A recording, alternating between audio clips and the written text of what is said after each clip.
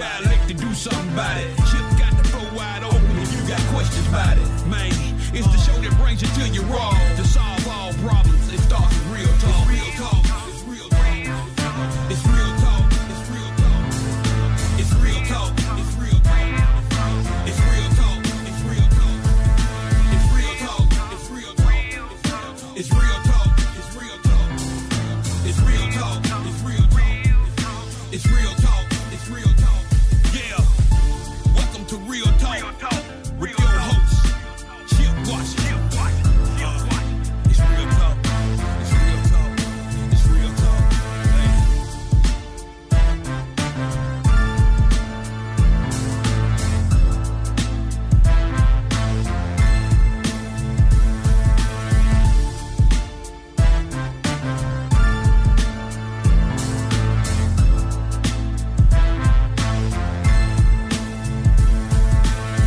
And here we go. Here we go on this Monday, January 10th, 2022. And yes, it is the first new Real Talk Memphis broadcast of the new year. So I start off by wishing you Happy New Year. Glad to have you with us. If you are with us this evening, gang's all here, ready up, fired up, and ready to go. Hopefully, we have a a good show for you tonight. You know, we always work hard to try to entertain you and educate you all at the same time.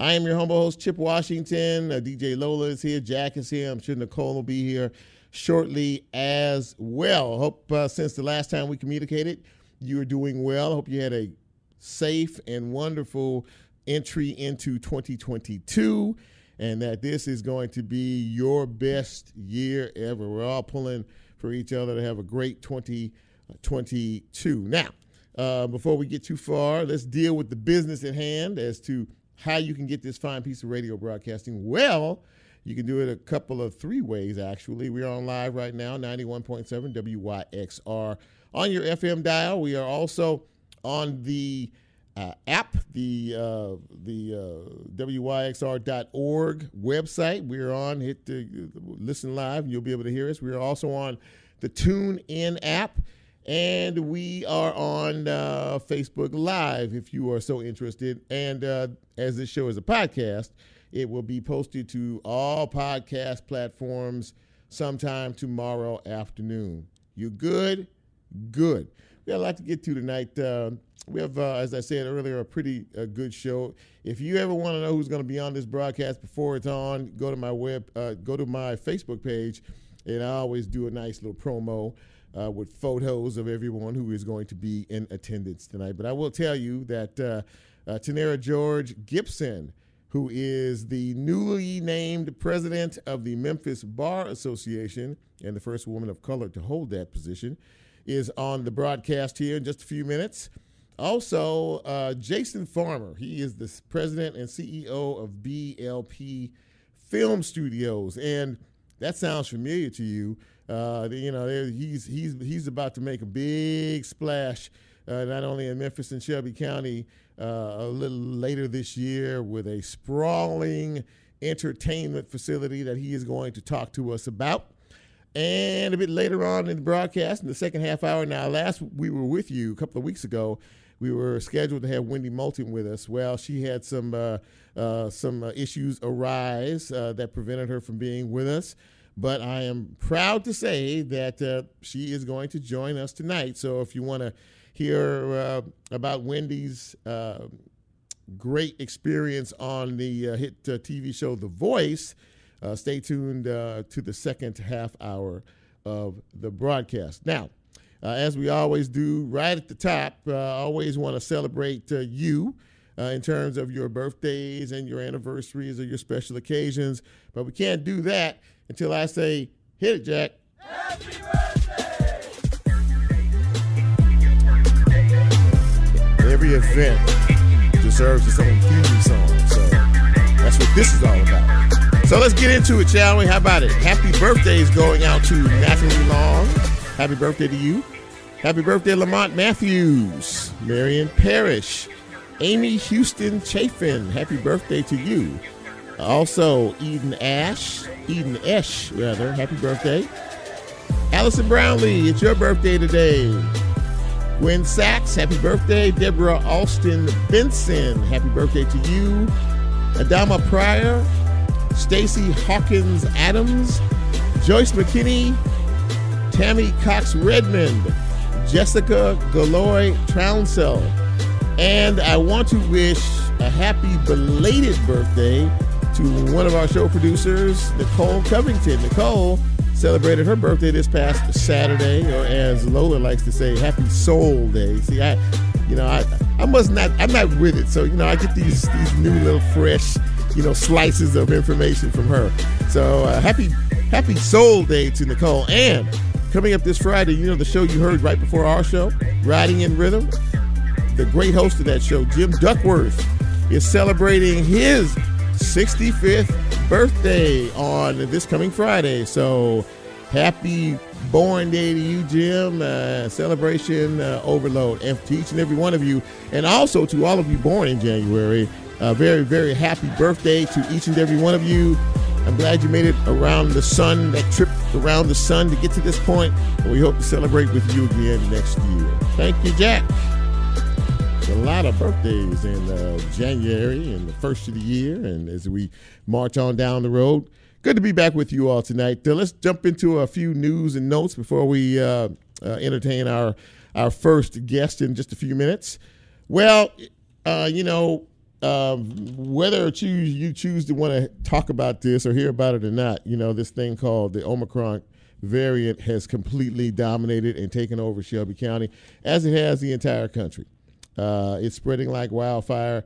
There's like over 700 new cases a day on average now, 1,600 deaths per average, hospitalizations and deaths are on the rise. Of course, hospitals, uh, especially here in Shelby County, are strained. And it's tough to keep staff. You know, people are sick. People are getting sick every day.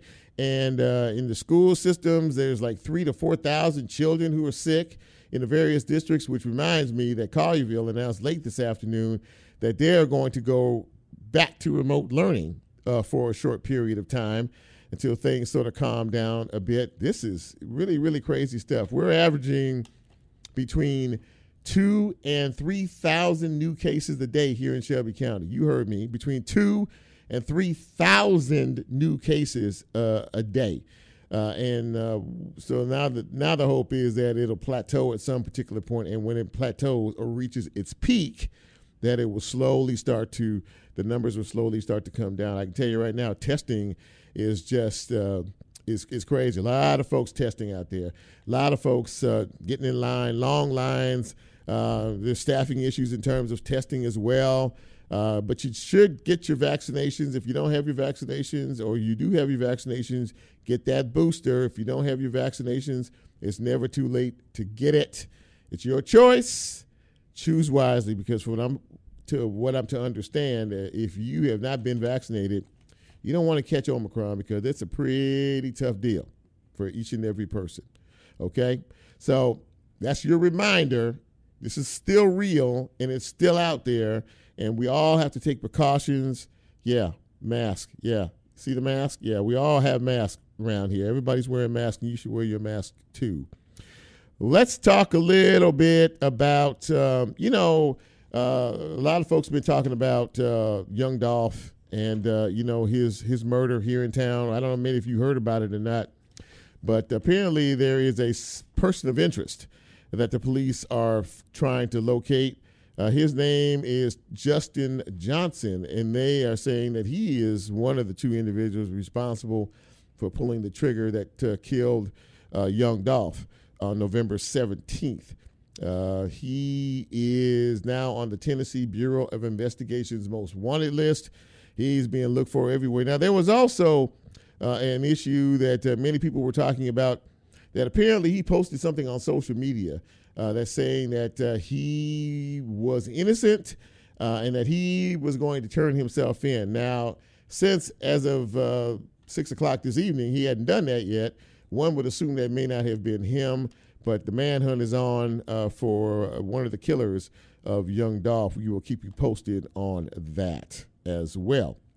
Uh, the current police chief of uh, the city of Memphis, uh, Chief Davis, uh, experienced uh, local crime firsthand over the weekend. Apparently, she was out and about with a friend.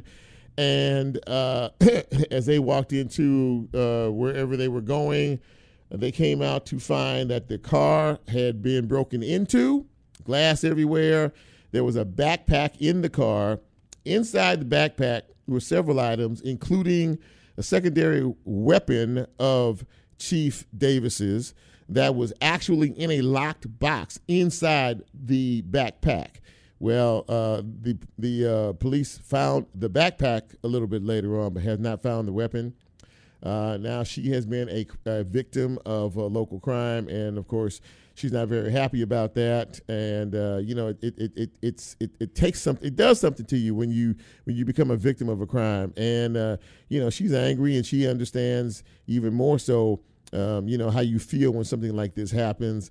But I'm pretty sure there's going to be a deep dive because the person stole her weapon, and um, heaven forbid, uh, that weapon uh, is used in the commission of a crime. So we will, uh, you know, hope, hope, hope, hope that uh, they find uh, that weapon and the individual who took it and deal with them accordingly.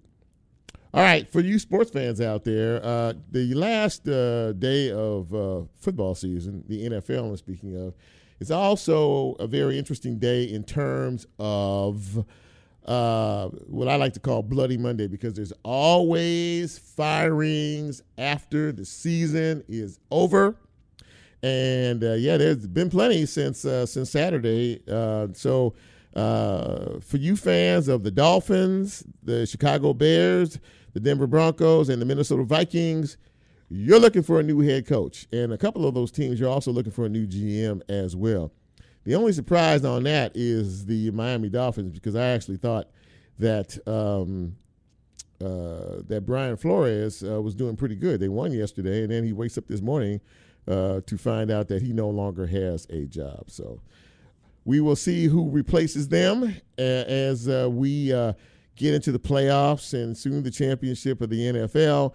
But tonight, uh, is the national championship of college football between the University of Georgia Bulldogs and the Alabama Crimson Tide. And uh, I'll ask you who you got in that game tonight.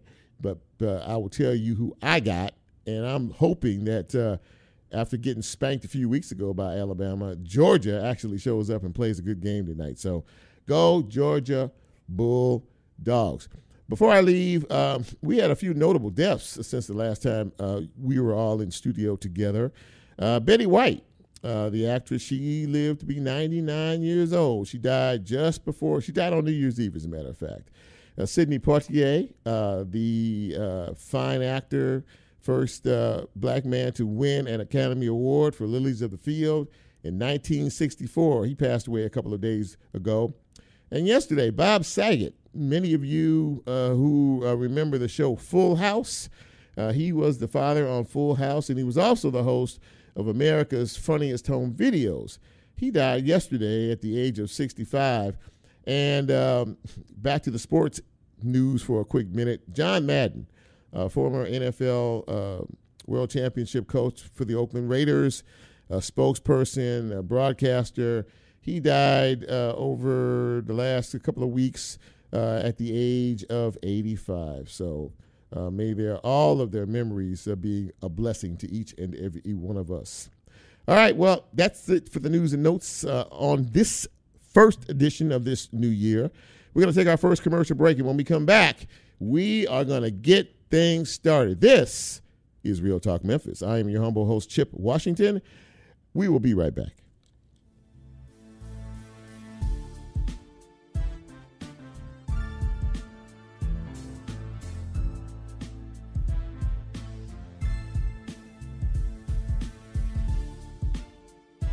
If you like Real Talk, here's a way you can get involved. Do you have a show topic idea or suggestion? Want to be considered a guest? Or have a guest idea? Then send Chip a message on his Real Talk show page and you can be a part of the Real Talk experience. So, as he always says, go out and tell somebody. We'll be right back.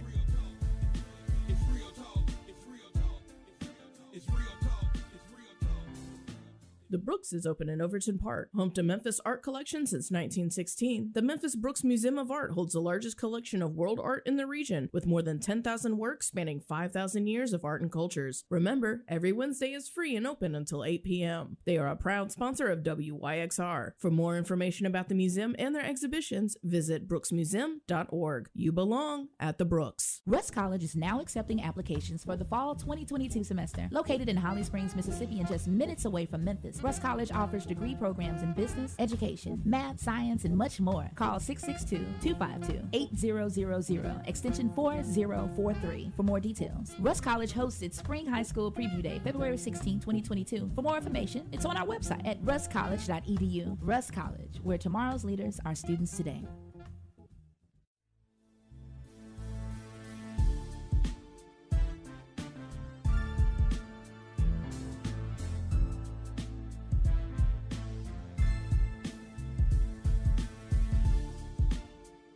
Get Real Talk on the TuneIn mobile app under WYXR, and he's now streaming live on Facebook. And you can also catch a rebroadcast on YouTube. Just put WYXR in the search box and hit subscribe. Now back to more Real Talk with Chip Washington.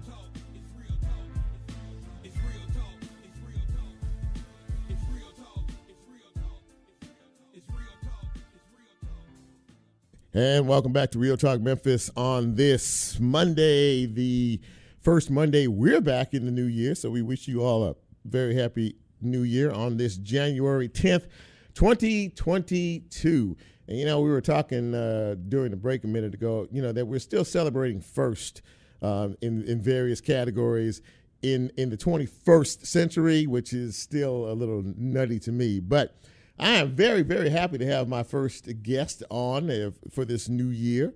Uh, she uh, has uh, recently been selected as the first black female president of the Memphis Bar Association in its history.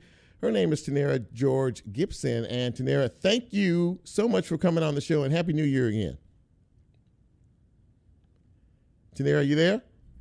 Here. Can you hear me? I got you now. I got you now. Okay. I got you okay. now. All right. Well, and first of all, from all of us here and from everyone, I know you've been getting congratulations. So uh, once again, congratulations on uh, this very prestigious honor, Madam President. Uh, and uh, and I guess first and foremost. Uh, how does it make you feel? You know, we, we were talking a minute ago about, you know, we're still dealing with first, and obviously you're the first, which means you're a trailblazer uh, which means you are sort of setting the bar, if you will. How does how does all this make you feel um, in, in in terms of, of, of this role that you're taking on?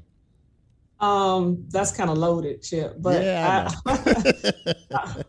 I, will say that um, I mean it makes me feel like it's a step in the right direction, yeah. but doesn't feel like progress yet. Okay. Um, and and by that I mean you know it's you know let's see. I don't want it to be me and then 25 more years before there's another mm-hmm. black woman who's president. Mm-hmm. So whatever has gotten us to this place, I want to address head on. Um, you know, I want to kind of deal with it, work those kinks out, and see if we can't, you know, make diversity the norm uh, among the lawyers here in Memphis. That's a very interesting uh, uh, thing you just said, and the way to look at it, and and you know, hopefully, it's not the exception to the rule, but you know, it it will be the norm. Um, so you know, I'm sure that you have uh, you have an agenda and some things that you're thinking about as you're moving forward uh, in, during this year. But let me back up a minute. First of all, how old is the Memphis Bar Association? How long has it been established? For 147 years. 147 years. Okay, and and and, and once again, you're the first. 147. Uh, so, uh, and I, I had to ask that question because it really is, you know, I don't know, a bit stunning that we're still dealing with things like this. But uh, as we as we move forward, may I ask about you personally in terms of your legal background and career? How long have you been in the legal profession?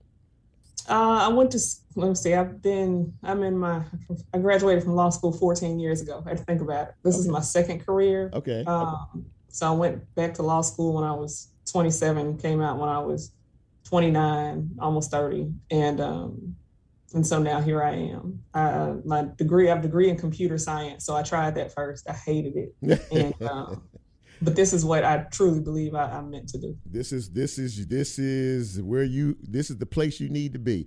Uh, if you're just joining us, ladies and gentlemen, we are speaking with Tannera George Gibson. She is the president of the Memphis Bar Association. You know, I've seen you on a lot of newspapers, a lot of magazines, and things like that, and and uh, obviously very very proud of you and your accomplishments. Uh, speaking of that, uh, as we move forward now, um, you know, what are you looking at? What are some of the things you're looking at? You know, what does the agenda look like as you move forward uh, as this year starts to progress? So obviously, diversity is a big one, but you know, you have to get there, right? And so I'm very intentional about um, trying to create a set of diverse leaders within the bar. I want there to be, you know, some longevity to mm-hmm. it. Mm-hmm. I don't want it to be a, a, passing fad during, you know, my year as president. I want to create something that's sustainable uh, going forward. You know, the bar has, you know, tremendous resources. There are thousands of lawyers who are members. Um, some member all kinds of lawyers that practice in all kinds of areas. Mm-hmm. You know, it's just I want to harness the resources for all of us. And, and, and that should be, in my view, the norm. And part of what I want to do is to, you know, to kind of give some students, up and coming students, you know, an opportunity to hone their leadership skills before they come out. We're developing a program for that um, to give them some advantage or level the playing field a little bit. When I came out of, uh, when I went to law school, uh, there was one lawyer in my family I, I didn't have any idea about anything, you know, and I just ended up with really good mentors. And I just kind of want to, you know, impart that, you know, the wisdom that us, many of us have gained over the years. So you know, so do you, so you know, you talked about uh, you know, kind of kind of setting the mark and, and, and making this uh, you know more of the norm, you know, and, and using all of the the, the resources uh, that come along uh, with the, the, the title and the position uh, that you hold. Um, do you think, uh, as a whole, um, and you said there are thousands and thousands of lawyers here in, uh, you know, that are that are part of the the bar association. Is that going to be a challenge? Is it going to be is it going to be an uphill battle? Do you think, or do you think that we are at a time and at a place now where people are starting to realize uh, that uh, your experience, your professionalism, and your credentials matter, uh, and that we all should try to get on a get on the same page, if you will. I really don't expect it to be an uphill battle, and that's not me being naive, Chip. I was actually pretty overwhelmed by the amount of support and positivity I've received up to this point from all kinds of lawyers and, and, you know in every you know imaginable practice area mm-hmm. demographic mm-hmm. you know just it, it's been overwhelming and so i think that i could call on just about anyone to to do some of the work we want to do, and I probably will call on a whole lot of people to do the work. And I, I just I don't really don't see it being an uphill battle, to be honest with you. I think people are ready for it. Well, you know, I, I think you know we we have moved uh, we have we have started to move forward in, in, in, a lot of categories, and and this one we don't necessarily you know really really think about. Now, correct me if I'm wrong. Was the person uh, who preceded you was was was was he Asian? Did, did, am, am, I right about that? Yes, and he was the first Asian president of the bar. So, so, so the wheel is starting to turn a little bit here. Is, is, is, is that that's is, is, that is that a fair assessment that the wheel is starting to turn a little bit here? I, I think so. That's the hope, and I think that you know, I it's that for when I first finished the that particular bar association did have a bit of a feeling of exclusivity and, you know, I think that's changed over the years. And so trying to continue to change that, like I said, so that this is sustainable. So I think the wheel is turning in the right direction. In terms of the dynamics uh, and uh, sort of the breakdown, uh, it, it, it, all, it always seems uh, that it is a male dominated profession. But as you, you know, as you communicate with others, you know, here and around the, the country, are more women uh, becoming involved uh, in terms of being a part of the legal process? Are we seeing more attorneys, not just you know, female attorneys, not just here, but but nationwide? Do you think? Yeah, there are definitely um, a growing number of you know women lawyers generally across the country. Uh, our numbers are definitely growing. Mm-hmm. Minority women, mm-hmm. not so much. But women generally, yes, the numbers are, and I just looked at these numbers. So the numbers are definitely increasing overall, but we have a lot of work to do when it comes to increasing the numbers among minority women. And now, now why do you think that is? I mean, when you look at the, you just said you just looked at the numbers, and and, and you see the the you know the separation there. Why do you think it it, it is? Uh, uh, in, in terms of a lack of uh, African American or Black females? Um, I think it's that this is not, I'm not what you think about when you think about who a lawyer is. I'm not sitting in front of you, a black woman with my hair braided is not who you picture when you picture a lawyer. Mm. And that's something we have to overcome out the door. We mm. don't, people don't assume we're competent. People assume we're someone's secretary. People, and, and this is true of uh, women generally, actually. Um, people, but particularly for minority women, in my experience, people assume that you don't belong there. Mm. You know, that you're not smart, and that you have to go a long way to prove that you actually are competent to do your job. And so you kind of start behind some and you feel it the entire time you're doing this until you get to a place like now I don't really feel like that anymore. But it's taken a long time to Wow, that you know, that, and that's a, and that's a that's a real grain of truth. I think that people need to hear because you know, I mean, there are still we're still dealing with you know, issues like that, race issues, gender issues uh, in right. this country, and, and, and, a lot of different categories. And, and what you just said really, really strikes a chord. Um, and and I and, and, I also sense that this is why you being the head of this uh, this this group um, is is is really important and it really sort of sets the mark you know for for because i think a lot of people are going to be watching and i think you know you sort of alluded to that a little bit as well um, you know kind of see how you do what you do and it's not just a title thing only but there's some meat behind it so do you feel that way yeah absolutely mm-hmm. um, I mean, I have a pretty strong, tremendous agenda, so I might have to temper my ambition a little bit. okay. Um, but I'm not the least bit deluded about the fact that people are waiting to see what I'm going to do for all the obvious reasons. But you know, I'm ready for it. I welcome it. I'm looking forward to it. You know, um, and I'm grateful for it. Well, I got to tell you, you know, this has been really, you know, when I when I first heard about it, I was I was really excited um, um, for you and and and uh, and the, and the profession as a whole because I think you'll make it better. And, and having had this conversation with you, I know you will you know you will make it better and you're going to set some standards that that some folks are going to have to follow down the road so i want to thank you Tannera george gibson newly elected i appreciate you Chip. new, new, newly new were you elected? Can I say elected, yeah. or do you? How's that it's work? technically an elected position, yes. Okay, newly elected president of the Memphis Bar Association. Kudos, kudos, and congratulations uh, to you. And uh, if you feel you feel free to come back on this show if there's some something that you want to break out in terms of you know a, a new initiative or a program or, or something that uh, you think folks want to know. You're always welcome back here on Real Talk Memphis. Well, I certainly appreciate it. Thanks, Chip. Have a great night. Talk to you soon. All right, you too. Okay, Thanks. Bye. That was great. Uh, first, uh, first out of the box there, uh, Tannera George Gibson, and you can tell she's a she's a very smart and dynamic woman who is, uh, as she said, the newly elected president of the Memphis Bar Association, and she is going to make some changes, and I believe they're going to be for the better. So I thank her very much for coming on the show. We're going to take our next break. When we come back. Uh, we are going to uh, talk to uh, hopefully Mr. Jason Farmer.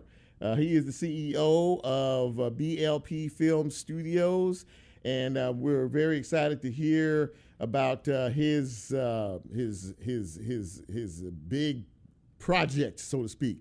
I'm not going to say any more about it. I'm going to a break. This is Real Talk Memphis. I'm your humble host, Chip. We'll take a break and we'll be right back.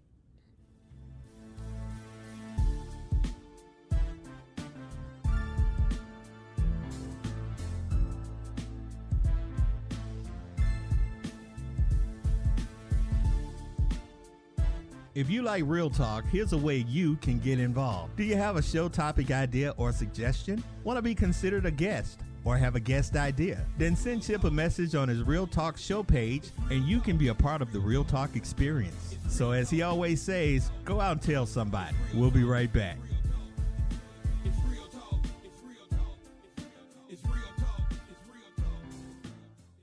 The University of Memphis is proud to be a founding partner of WYXR. They've recently been named an R1 institution by the Carnegie Classification of Institutions of Higher Education, putting the U of M in the top tier of research universities nationally. This milestone solidifies the university as one of two flagship public institutions in Tennessee. More information at memphis.edu. Rust College is now accepting applications for the fall 2022 semester. For more information, visit rustcollege.edu or contact admissions at 662-252-8000, extension 4043. Rust College, where tomorrow's leaders are students today. The University of Memphis is proud to be a founding partner of WYXR. They have recently been named an R1 institution by the Carnegie Classification of Institutions of Higher Education, putting the U of M in the top tier of research universities nationally. This milestone solidifies the university as one of the two flagship public institutions in Tennessee. More information at memphis.edu.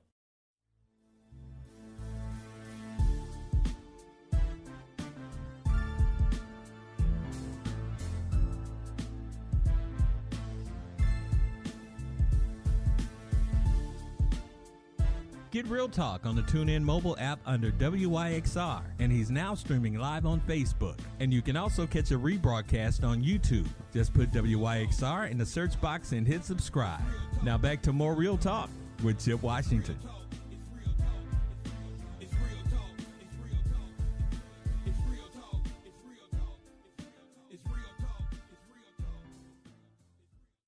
And welcome back to Real Talk Memphis on this Monday evening. Very happy to have you along for the ride.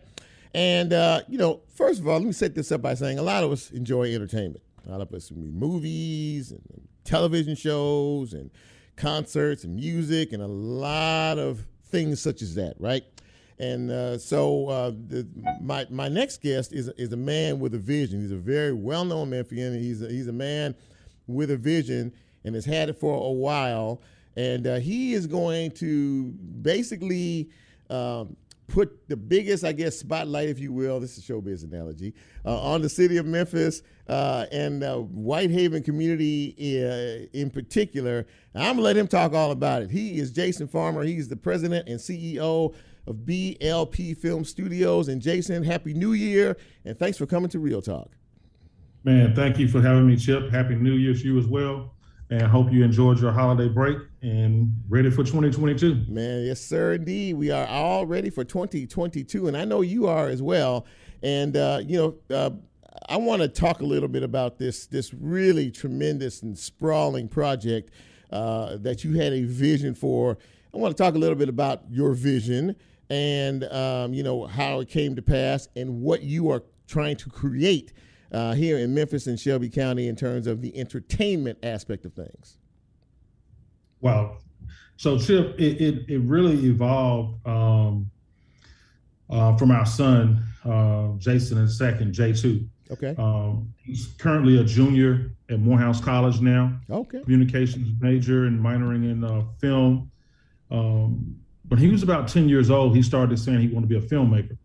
Um, I come out of government um, military background, law enforcement, had no inclination what it took uh, to make a movie or, or, what that even being in that sector entailed. Mm-hmm. So to be quite honest, we, we, tried to dissuade him for several years, um, but he, he, was persistent. Okay. He stuck to it. Uh, we tried to introduce him to some other friends and family who in various other careers that we knew the pathway for those careers. Mm-hmm. Uh, but he was adamant that he wanted to be a filmmaker. And so, really, um, about seven or eight years ago, out of frustration, I posted on Facebook, "Hey, anybody in the film and TV space that I may know, please reach out, inbox me. I have some questions." Wow. And uh, Christy Taylor, who uh, Christy and I have been friends now probably 25, 30 years. Yeah. Uh, Christy had been gone for several years, had relocated to LA. Right. She was a screenwriter. Mm-hmm. So Christy Taylor reached out to me and was like, "Hey, Jason, what's going on?" And I explained my dilemma to her. okay. Uh, Christy literally started to send me out to people to say, "Hey, go see person A, go see person B." Mm-hmm.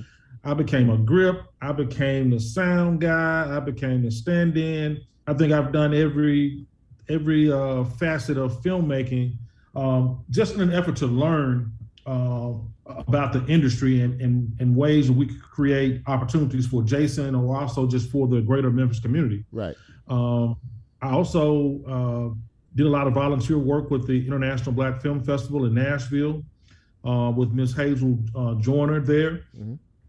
And all of these things, as, as the more and more I got involved, although I've been in the government sector for a number of years, I'd actually gone to school for business and pre-law. So I was looking at it not from a creative or a content creative creator's lens, but I was looking at it from a business standpoint. Okay. And I started to look at some of the history on why the market had moved away from Memphis, what were some of the emerging opportunities, and if there was an opportunity for Memphis that that's situated or, or positioned Memphis better than other places um, for a reemergence of the film and TV industry here in Memphis, Tennessee. Mhm. And soon, what began to emerge is that um, there are a number of studies that are being conducted now by um, you have the Bunche study at UCLA. I think Netflix does a study now. Um, Warner Brothers, um, and and and we have McKinsey and Company.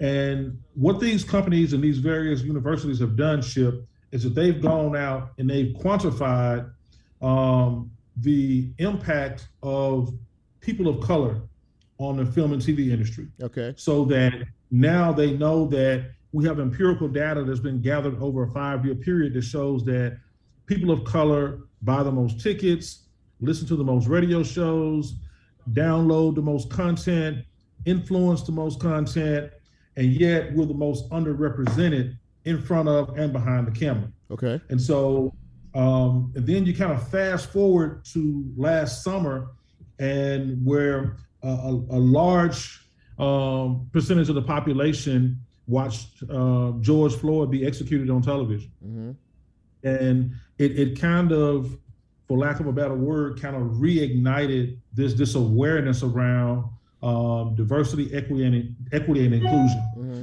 and, and the lack thereof.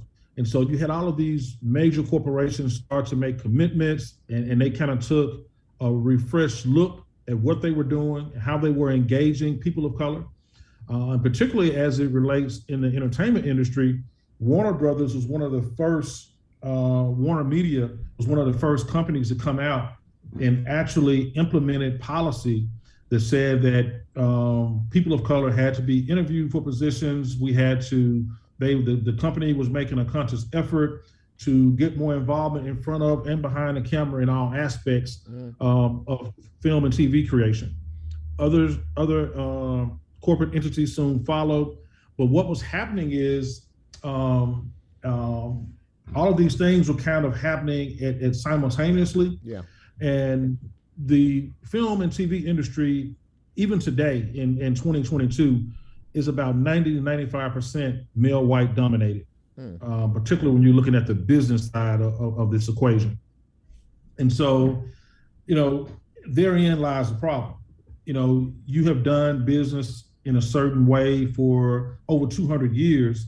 So it does not just manifest itself that you're going to invite other people to the table. Right. So, kind of taking a page from um, Tyler Perry in Atlanta, when a couple of years ago he said, you know, while other people are out asking for a seat at the table, he was going to be in Atlanta building his own table. Right. And so, pulling a page from that, we looked at and, and we did some uh, some really in-depth uh, cost analysis on what it would cost to build and operate a film studio here in the Memphis market. hmm Um, Memphis and Shelby County happens to be the largest majority black suburban area in the entire country. Uh, a lot of people don't realize that. So, really, if you come here and, and you're truly committed to diversity, equity, and inclusion, you really, really, really have to go out of your way in this market for that not to happen. So we looked around and, and we we were able to acquire the initial 100 acres of land. Mhm. Uh, we have an option on another parcel of land that's about 100 acres also. Um, we've managed to get that property uh, successfully rezoned um, through the Land Use Control Board, the Shelby County Commission, uh, the, the uh, Memphis City Council, and we and also we had some assistance from the governor's office, and we now have that property is completely um, rezoned as commercial mixed use. Um, we've submitted a density plan that uh, spans about 1.5 million square feet of space, um, encompassing about 14 sound stages, administrative office buildings, post production facilities, editing suites, uh, outdoor sinks, um, a full production studio. You- and we're No, I'm I'm, sorry. I'm, I'm sorry. I, I just wanted to. I'm just. I'm just. I'm really sitting here in awe, listening to you talk a little bit about all this, and, so is my crew, by the way. But um, and, and by the way, for those of you who are just joining us, shame on you. But this this is a podcast, so you'll be able to catch it if you missed any of it. We are speaking with Mr. Jason Farmer. He is the president and CEO of BLP Film Studios, and walking us through the process of building uh, an amazing studio complex here, here in Memphis and Shelby County, Whitehaven specifically. And you know, you and I spoke uh, offline, uh, Jason, a couple of times uh, um, prior to you coming on tonight. And I think one of the things that is very important to you is that uh, people of color have opportunities and not only have opportunities to work in this environment, but also people who are you who are looking for for for, for a first chance, uh, just an app, whether they be musicians, whether they be actors, whether they be supporting folks, and that's very important to you, isn't it? Yes, it is. Um, thi- this project, um, just the scope of the project, is one of the largest uh, black-led commercial projects, private commercial projects um, in history that, that we've been able to find. So we certainly equate this um, to what the Hartsfield Jackson International Airport meant to the Atlanta region. When um, Maynard Jackson was was mayor of Atlanta, um, he he just laid down the gauntlet that at a minimum there was going to be 30 to 40 percent minority participation in the building of that multi-billion dollar project at that time at Hartsfield International Jackson International Airport. Right. That one project alone created untold amount of multi-millionaire uh, entrepreneurs in the Atlanta, uh, uh, Fulton County area. Uh-huh. And so this project has the same kind of reach and magnitude um, that we have the opportunity to really have an impact on the community here uh, for generations going forward, not just with the direct people that are involved in the in the in the studio, but the the engineers that will build it, the the, the contractors, uh, the various Yeah. you know Yeah. probably 30 or 40 other ancillary things that will have to happen um, to make that studio happen. Uh, it's a 24 hour operation. Um, it will it will directly impact thousands of jobs, indirectly probably several other thousand thousand jobs as well. Um, and then I guess the biggest sector, um, aside from what will happen in front of and behind the camera, is the music component. And oftentimes we don't really think about it, but everything visual, there's a music component to it. Sure. So if your film has a, a, a $20 million budget or $50 million budget, typically about 10% of that is set aside for music. Okay. So for our local musicians, as we do, once we come online, we're doing 50 to 70 productions a year. We will need 1,500 to 1,700 pieces of music, Man. um, theme songs, Yeah. just music that's, that's playing in the background. Um, and, and, and, and I encourage people as- the studio comes online to look at the credits. When, when the news goes off, when your favorite program on Netflix goes off, when your favorite program on HBO, whatever you're watching, if you'll sit for an additional 10 minutes, every name that scrolls across that screen Yeah. got paid. Yeah. Sure. Excellent. Everything there. Yep. So we focus so much on, on on the actors who are on screen, but there are typically 150 to 300 names that scroll across that screen, Right. and everybody up there got paid. That's right. And so that's the kind of impact that we want to have on the what we will have on the community. Not that we want to have, we will have on the community. Well, listen, man. Look, I, I you know, we we, we, we got to run, but I, I, I, I, I'm, you know, you got I'm telling you, I got three folks in the studio studio with me. Uh, you know, my, my my my producer team here, and they're all like looking at me and shaking their head and giving me the thumbs up and the whole nine yards about what what this this is a very exciting project that you are bringing uh, to a, a city and a county that desperately needs it. And it's going to help so many folks. And listen, um, as uh, we get closer to this, and in particular, the ground, groundbreaking aspect of it, come back on the show and uh, and we'll we'll chop it up a little bit more about uh, what is to come uh, from this amazing opportunity that you're providing us here in the city. Man, thank you for having me, Chip, and, and I'll certainly be glad to come back. And you can follow us at blpfilmstudios.com. blpstudios.com, and that's how you do it. Jason Farmer, thank you so much, my friend, and uh, I look to talk to you soon. Thank you. All right, take care. Wow, that was enough. That doesn't make you feel something. I, I I don't know what will. I mean, Jason is is is basically recrafting this entire landscape here a multi, you know, million dollar uh, studio entertainment complex of television and film and music.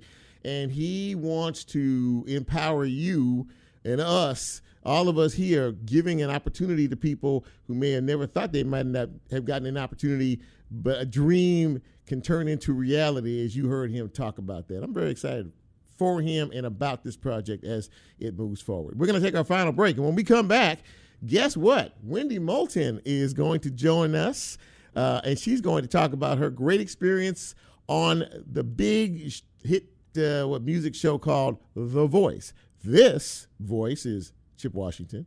This show is Real Talk Memphis, and we will be right back.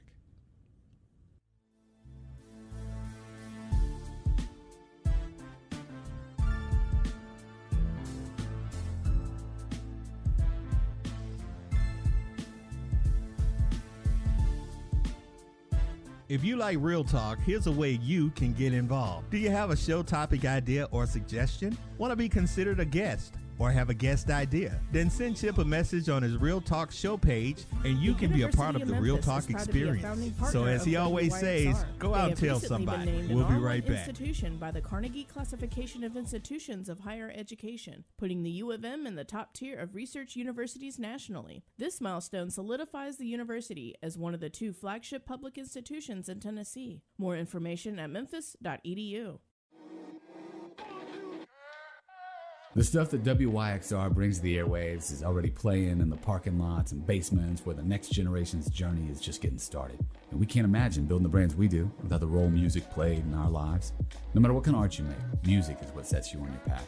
Loaded for Bear is proud to support WYXR and community radio everywhere.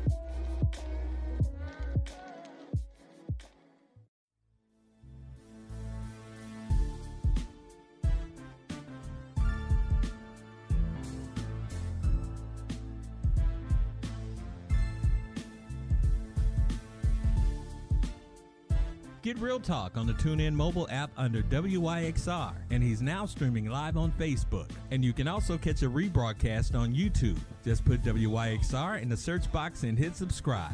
Now back to more Real Talk with Chip Washington.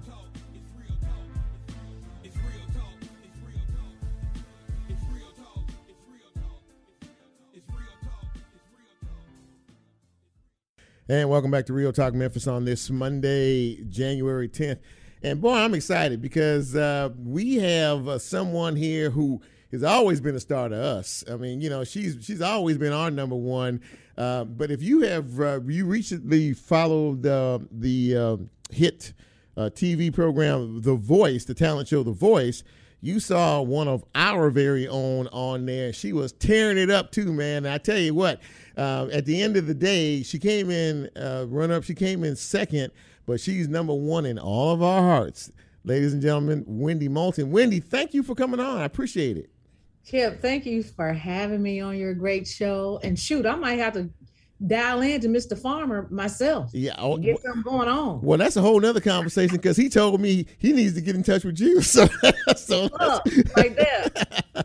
so we all gonna network on each other. We gonna help each other out. Absolutely that. But listen, congratulations on on on the voice. You were absolutely amazing, and it was a tremendous experience. Could you feel the entire city and the county and everybody here in Memphis just pulling for you every week? Could you feel that energy? Absolutely. I felt it. I, okay, Memphis has always been behind me. I have to say that. It from like Libertyland days Yeah. to in the voices, Carlton League, and you know, just on and on, coming out of the rain. I was at MVP at Captain Bilbo. Memphis always been behind me. And so, I mean, when I got to the voice, I would I had no doubt. I had no doubt that they would support me, that my hometown would support me. Well, you know, when you when you get all four chairs turning around, which they did for you, and and they were all begging to get you, what made you decide to to uh, join Team Blake? Well, I have to tell you, I wasn't sure what was going to happen. I, you know, reality TV is its own universe. Yeah. I didn't know what going to happen. I had been working for 35 years. I wasn't sure if it was going to destroy what I've worked on for 35 years. Uh-huh. And I had made up my mind. I didn't know what kind of game this was going to be, but I figured if I just did my ultimate best, however the chips lie down, I was going to be okay with it. Mhm. And and I was basically like whoever turned around first, that's who I was going to go with because obviously I moved something in them, and I wasn't sure Blake would would would get me or take a chance on me because you know I just wasn't sure, you know, and he didn't know much about me. Of course, you know, you're just blind auditions. Right. But uh when I found out that he turned around first and then he blocked John Legend, Yep, you did. I said, "Oh my God, what is this? What kind of game is this?" so, you know, I figured that that's just how it was supposed to be. Plus, you know, I've been in the game 40 years, so it's like, okay, with Blake, I just got an idea that you know he's he's a brilliant artist and he is a brilliant you know person to play the voice. He knows the ins and outs of the voice. Sure. So I figured I would have a better chance of singing more of the songs that I love and I like uh, with someone like Blake because he's about authenticity. So, I, you know, not that my King John Legend or my Queen Ariana Grande Yeah. or you know Kelly Clarkson, not that they wouldn't try to put the right songs with me, Yeah. but I think that I always felt like Blake would kind of respect, you know, if it's something that I felt strongly about, he may lean towards me a little bit. Wow. You know, trusting me, my instincts. Absolutely amazing. If you are just joining us, we're speaking with uh, the fantastic Wendy Moten, uh, talking about her experiences on The Voice. Now, Wendy, you have been uh, doing a lot of uh, of music in the country and western world. Uh, the country music, you've been you've been you've been on stage with some of the biggest country acts uh, in, in in the world. How'd that come about? Um, I had to eat. You know, when I had my solo, when I had my solo career in the '90s, doing Yeah. the Whitney Houston, Mariah Carey era, Yeah. uh, era. Uh, you know, it lasted for about five years, Uh-huh. and then I was like, "What are you gonna do?" Mhm. And then Julio Iglesias found me and made me his duet partner, and that was like I stayed with him for 15 years. I had to sing in four languages. You know, traveled in the private planes, Oh, made my. crazy money. Oh. That whole private plane lifestyle. Yeah. That's what I experienced over 15 years. Yeah. Then, um, and then um, after that, um, honey, I'm in an interview. And then after that is when hello is Hello. when um you know country music world opened up Mhm. and I got a call and the first tour was Tim McGraw and Faith Hill Yeah. uh, arena tour and I was just gonna stay for a little while because Julio had a break and uh and I called him and asked him if it was all right to you know go do this tour for one year and he was like darling darling you can go but come back come back Come back. so come back Yeah. and I stayed for you know one year, and then I, I went back to Julio Iglesias because he tours all over the world. Right. And um, and then I came back. I was able to do them both. It worked out that way for many years. And then, you know, Tim and Faith, Wynonna, uh, Martina McBride, Vince Gill, Big man. and then you know touring with Vince Gill, he ended up doing a country record on me. a traditional country record. Mm-hmm. And I ended up playing the Grand Ole Opry like 10 times in the last two years.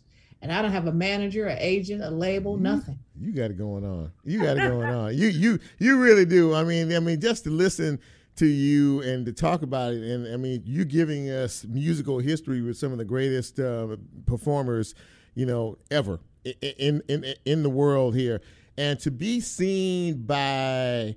Uh, I mean, obviously, you you've been on stages all over the world, thousands of people perform before thousands of people in concerts and things like that to be on that stage uh, of The Voice and having millions of people each and every week watching you had to be kind of an out of body experience, but maybe not for somebody who's been doing it as long as you, huh?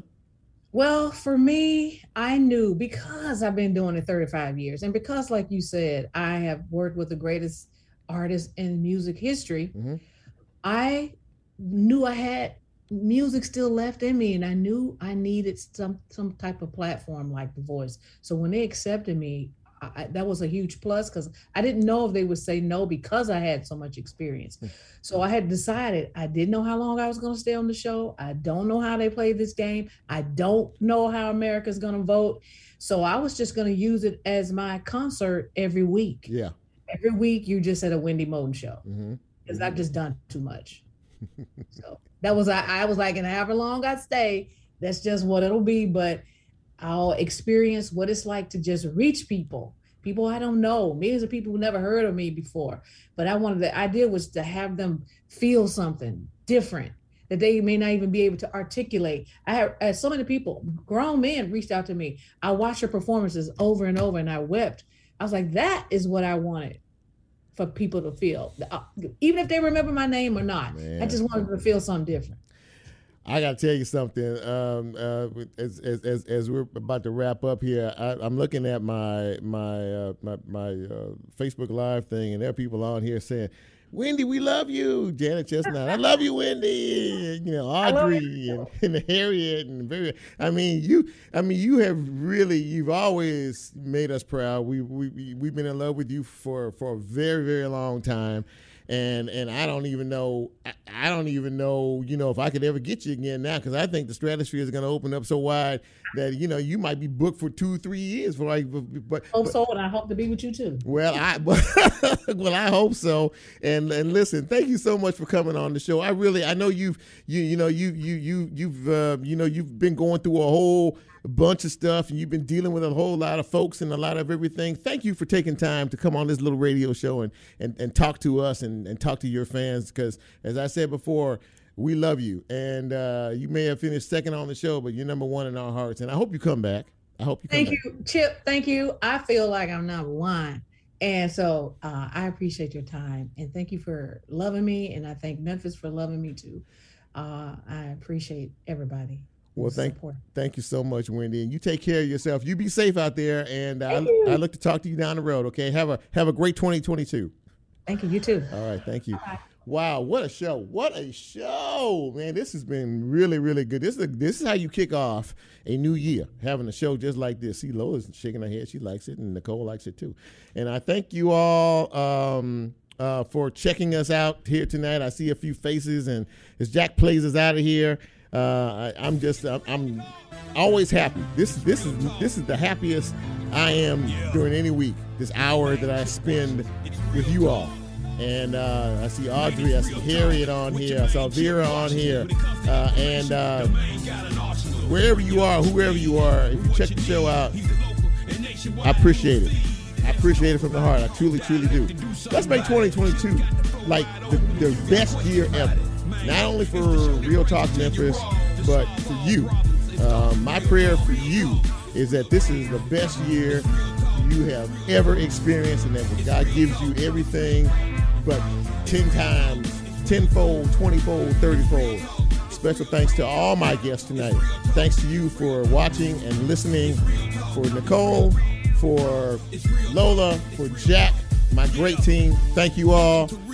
Thank you all for being with us. And until next time, I'm Chip, and I'm out.